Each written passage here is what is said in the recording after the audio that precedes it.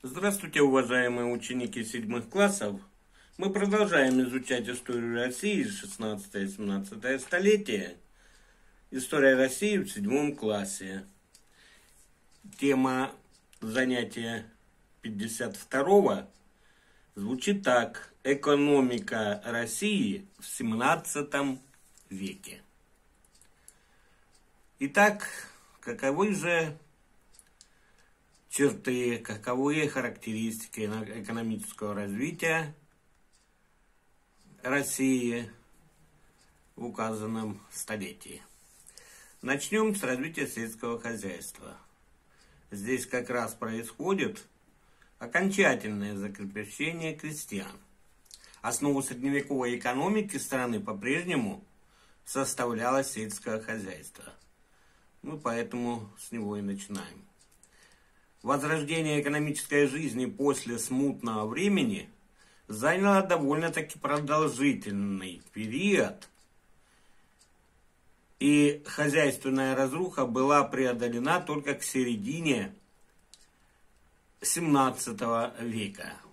К 1640 годам земледельцы распахали угодья, заброшенные в годы смуты, а также начали осваивать новые пашенные земли к югу от Белгорода, в Среднем Поволжье, а также на севере в районе Вологды, а также в Сибири.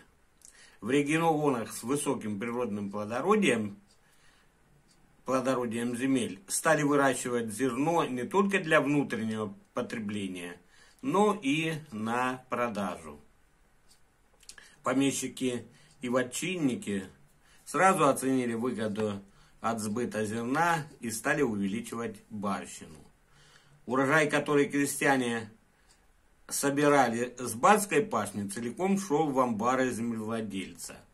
Продав зерно в городе, помещик или вотчинник на вырученные деньги мог купить товары городских ремесленников или же товары иноземных мастеров, которые нередко превосходили по качеству местные изделия. С увеличением барщины крестьяне все меньше занимались личным хозяйством.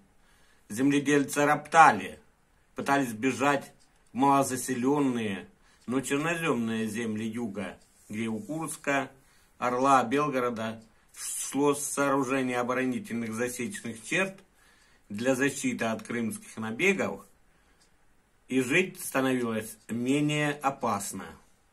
Помещики и вотчинники искали у власти защиты, требовали более прочного прикрепления крестьян к земле. И это со временем и произошло. Правительство Михаила Романова пошло им навстречу, увеличив срок сыска беглых. Отмена урочных лет в 1649 году сыном Михаила, царем Алексеем, означала бессрочный сыск беглых и прикрепление крестьян к земле. В России окончательно утвердилось крепостное право. Помимо сельского хозяйства, получило дальнейшее развитие ремесло, промыслы, а также специализация районов. Рост сельскохозяйственного производства в отдельных районах позволил жителям э, различных земель заниматься ремеслом в расчете на продажу своей продукции. В стране появлялись новые виды промыслов, например, гжель в Подмосковье. Жители нескольких окрестных сел из местной глины стали делать керамическую цветную посуду оказавшуюся очень востребованной на рынке. Близ города Вятки, в Слободе Дымкова, наладили производство детских игрушек, свистулек из глины в виде конейка, козочек, птичек и других животных. Их красили в разные яркие цвета, и также спрос на детскую игрушку был э, значительный. В районах нечемноземья рубили лес – Плотники делали из него заготовки для изб, бань, а также сараев, других хозяйственных строений. И все это везли также на продажу. Первоклассные плотники жили в Поморье, на побережье Белого моря и по берегам Северной Двины. Там же строили солеварни и добывали соль. Многие сула стали специализироваться на выделке кож, на выращивании льна и других непродовольственных культур. В городах ремесленники работали не только на заказ, но и производили товары на продажу, если на них был повышенный спрос. В Новгороде, Пскове, Смоленске, Костроме и Вологде ткали полотно. Изделия из кожи делали в Ярославле, Казани, Нижнем Новгороде, а также Калуге. Псковичи и новгородцы издавна владели искусством обработки песчаника и с успехом применяли его в строительстве. В 17 веке ремесленными центрами являлись Новгород, Псков, Великий Устюг, Нижний Новгород, Казань. И именно в этих центрах появляются первые мануфактуры. Но больше всего ремесленников трудилось в Москве. В Москве жили мастера разных профессий. Действовал пушечный двор. Золотая и серебряная палаты производили украшения, драгоценную посуду, оклады для книг. На Хамовном дворе изготавливали текстильную продукцию. В Тихвинском посаде под Тулой и Серпуховым в Устюге Железном появились первые железоделательные мануфактуры. В отличие от мелких ремесленных мастерских, это были крупные производства, основанные на разделении ручного труда и использовании ручной техники.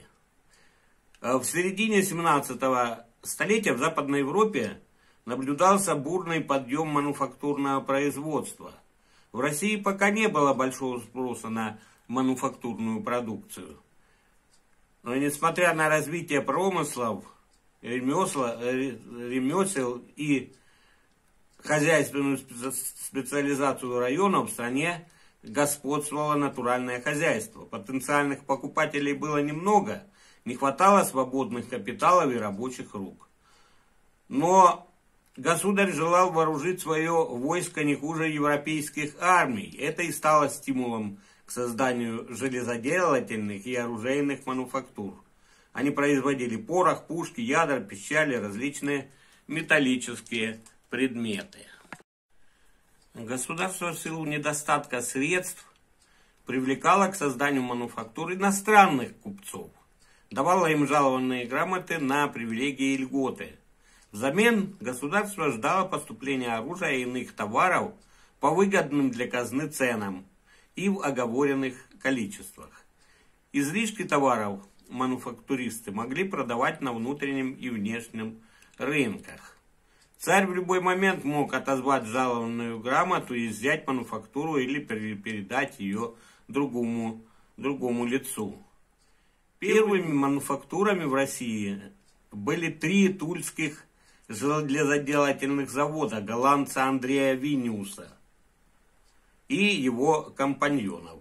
И э, начинаются эти его железоделательные заводы э, строиться в 1632 году. С помощью водяных колес на за, запряженных, запруженных реках дробили руду, из нее производили металл и делали пушки, ядра, прочее оружие, а также различные предметы крестьянского быта, скобляные изделия, замки, гвозди и так далее. Железо для кровли. Продукция тульских заводов была несравненно дешевле тех товаров, которые привозили, например, из Швеции. К концу 17 века появились частные купеческие и боярские мануфактуры. Они производили и поставляли на рынки ткани, скобяные изделия и другие товары. Число мануфактур в России достигло на это время 30. На мануфактурах 17 века применялся вольнонаемный труд. Однако недостаток свободных рабочих рук и господство натурального хозяйства сдерживало рост мануфактурного производства в России. Развивается бурная внутренняя торговля и формируется всероссийский рынок. Успехи в хозяйственной деятельности, то есть в ремесле, промыслах, мануфактурном производстве, способствовали развитию внутренней торговли. В городах появились лавки, торговавшие круглый год. В крупных городах, например, в Москве, лавки объединялись в специализированные ряды. В свином ряду можно было купить мясо, в дровяном – топливо, в хлебном – мучную продукцию. Мелкие торговцы-разносчики, называемые корабейниками, из-за сумки короба, доставляли сельским жителям ремесленные изделия, а в город несли промысловые товары и сырье. Крупная оптовая торговля велась через ярмарки. Раз в год на них съезжались купцы из разных районов страны. Они привозили отечественные и зарубежные товары, ремесленные изделия, ткани, вина, серебро, ювелирные украшения, восточные ковры, шелка, фрукты. Самая известная из э, ярмарок 17 столетия проходила в селе Макарьеве под Нижним Новгородом. Большое значение имели также Архангельская, Астраханская, Ирбитская в Западной Сибири, Свенская под Брянском ярмарке. Развитию торговли, защите отечественного купечества способствовала торговые уставы царя Алексея Михайловича. Торговый устав 1653 года установил для русских купцов единую пошлину, то есть денежный сбор, в 5%, а для иностранных 6%, в Архангельске и вовсе 4%. Но вот торговый устав 1667 года, разработанный и принятый по инициативе боярина Ордын-Нащекина, запретил иностранцам торговать э, в розницу, то есть поштучно, и совершать сделки в России между собой напрямую без русского посредника – Благодаря развитию товарно-денежных отношений, хозяйственной специализации районов, росту внутренней и внешней торговли начал формироваться всероссийский рынок.